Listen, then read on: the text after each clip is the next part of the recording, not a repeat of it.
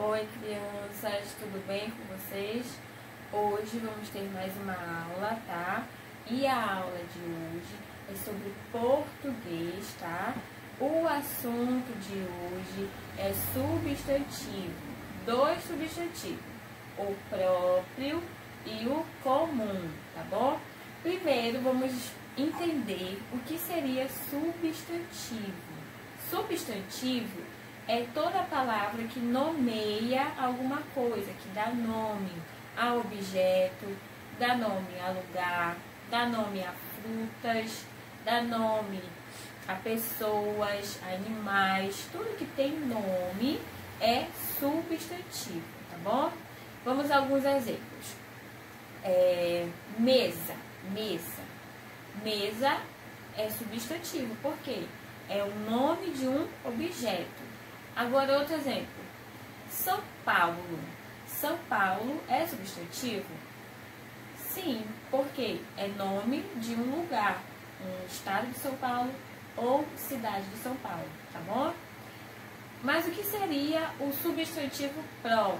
Vou explicar. Substantivo próprio é aquele substantivo que tem um nome próprio, tá? E substantivo comum é aquele substantivo que é comum em todos os lugares, a gente pode ver em todos os lugares. Por exemplo, cachorro. Cachorro tem em todos os lugares, né? Animal, cachorro. Então é comum. Só que se eu tenho um cachorro e eu dou um nome para aquele cachorro, o nome dele vai ser próprio. Por exemplo, aqui em casa eu tenho duas cadelas, duas. Duas cachorrinhas. Uma é a preta e a outra é a pérola. Eu tenho duas cachorrinhas. Cachorrinhas é substantivo comum, tá?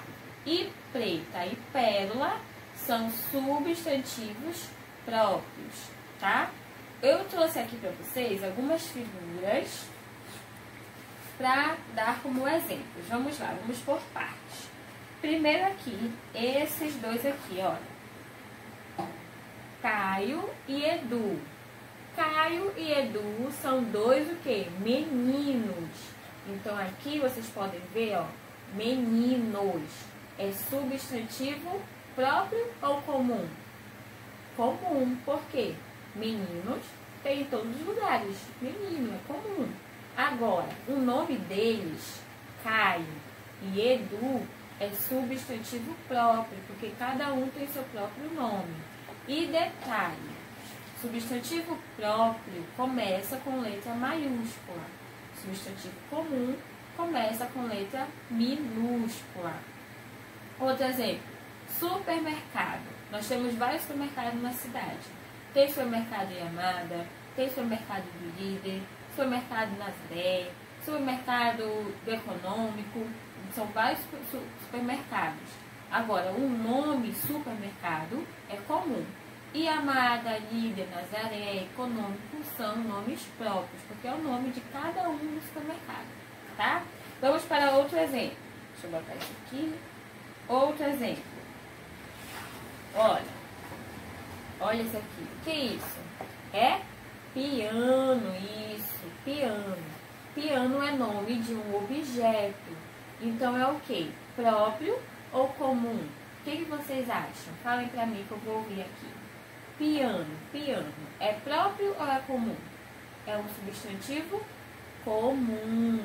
Por quê? Porque é nome de objeto e também começa com letra minúscula. Olha o P aqui. O P não está maiúsculo. Vamos a outro exemplo. Aqui eu trouxe...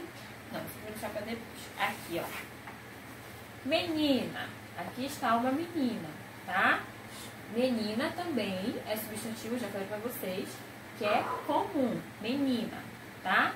Agora o nome dela, Carla, ó, C A R L A. Carla é o nome da menina, é o nome dela. Então, Carla é substantivo próprio. Próprio, tá? Vamos para outra aqui. Esse aqui eu já dei o exemplo, mas eu vou falar mais uma vez. Ó, mesa, mesa. É substantivo comum ou é substantivo próprio? É nome de objeto, não é? Então, ele é substantivo comum, nome de objeto. Olha aqui o M minúsculo. Para a gente saber se é próprio comum, é só olhar para o início da palavra. Se for minúsculo, é comum. Se for maiúsculo, é próprio. Tá? Mesa, substantivo comum. Vamos aqui agora. Olha esse bicho aqui, ó. Aranha, aranha. Aranha é um animal e o nome aranha é substantivo comum. Isso, comum.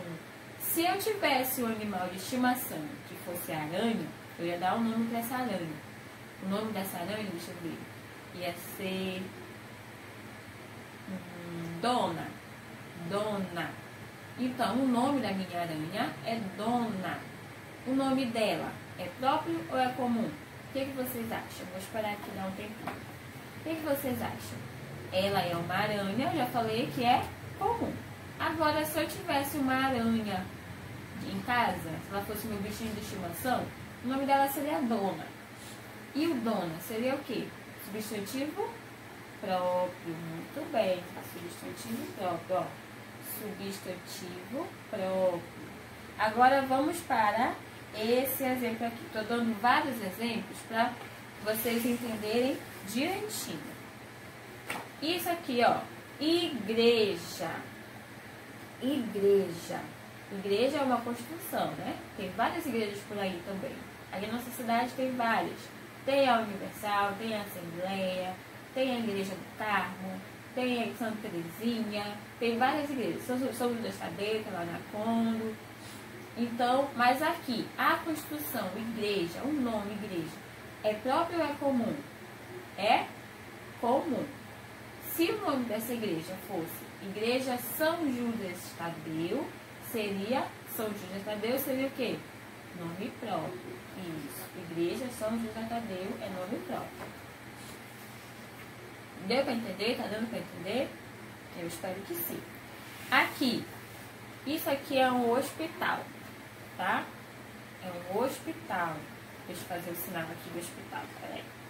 Hospital, é um hospital. Hospital, botei o nome dele bem aqui embaixo, São Pedro. Hospital São Pedro. Esse aqui, São Pedro, é o que? Substantivo próprio ou comum? O que, que vocês acham? Eu acho que é próprio. Vocês concordam comigo? Então, todos nós estamos corretos. São Pedro é substantivo próprio. Lembra é substantivo? Substantivo são palavras que nomeiam, que dão nome, tá? Vamos para os dois últimos exemplos.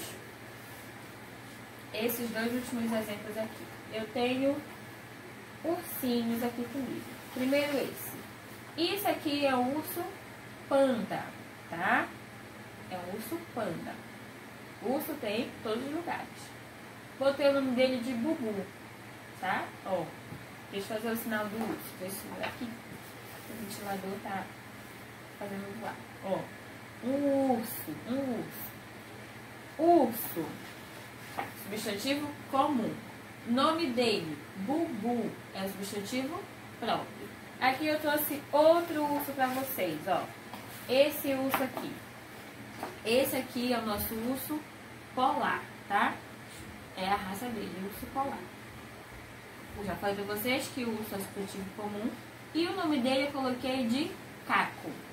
Caco. Então, caco é substantivo próprio, porque é o nome do urso, tá? Tem urso polar, tem aquele urso lá que na floresta, o marronzinho, que eu não sei a raça dele. Tem o urso panda, então o urso é substantivo comum. Nome que a gente dá para o urso, em desenho que tem, né? Então é substantivo próprio. Bom, crianças, a atividade para vocês é no livro de português, tá? Esse livro aqui. São dois, duas páginas. A página 28 e a página 29. Vou explicar para vocês o que é para fazer. Aqui na página 28 tem a definição do que é substantivo, o que é próprio, o que é comum, tá? Como eu explico para vocês, mas aqui tá escrito para vocês lerem. E aqui tá a atividade. A primeira questão, vocês vão ter que ler as palavras que estão aqui no quadro, tá bom? Vocês vão prestar atenção se ela começa com letra maiúscula, se ela começa com letra minúscula, porque isso ajuda muito, tá? Lembrando, substantivo próprio começa com letra maiúscula e comum com letra minúscula. Depois de fazer a leitura dos, dos nomes, vocês vão colocar as palavras no quadro correto. Esse quadro aqui, vocês vão colocar só o que é comum, tá? E esse aqui, vocês vão colocar só o que é próprio, tá? Feito isso, vocês vão para a página 29. A página 29, vocês vão fazer uma pesquisa. Vocês vão pesquisar artista. Pode ser atriz, pode ser ator, pode ser cantor, tá bom? Mas tem que ser artista. Vocês vão colar a foto do artista aqui. E bem aqui vocês vão preencher os dados desse artista. O nome dele, a profissão, a nacionalidade. Sabe que é nacionalidade? Nacionalidade é onde a gente nasceu. Se eu nasci no Brasil, eu sou brasileira. Se o artista que vocês escolherem nasceu no Japão, ele é japonês. Se ele nasceu na Holanda, ele é holandês, a nacionalidade, tá? E por último, vamos escrever a data de nascimento. Lembrando que nome de pessoa, nome de estado, nome de cidade, nome de revista, nome de supermercado, é tudo nome é, substantivo próprio, tá bom? Objeto, animal, essas coisas assim, são comuns, tá? Essa foi a nossa aula de hoje. Eu espero que vocês tenham entendido o conteúdo. Na verdade, a gente já deu esse conteúdo, né? A gente já vem falando sobre isso desde o início do ano. Então, é só, é só para reforçar. A você fazer atividade. Qualquer dúvida, podem falar comigo. Eu estarei disponível, tá? Eu, um beijo para vocês e até a próxima.